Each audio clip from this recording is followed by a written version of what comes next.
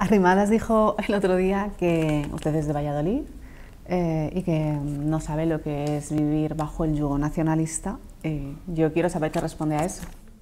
Bueno, eso es... Eh, intentar ser políticamente correcto. supongo que Inés Arrimadas no querrá decir que para dirigir un partido en España solo se puede ser vasco o catalán.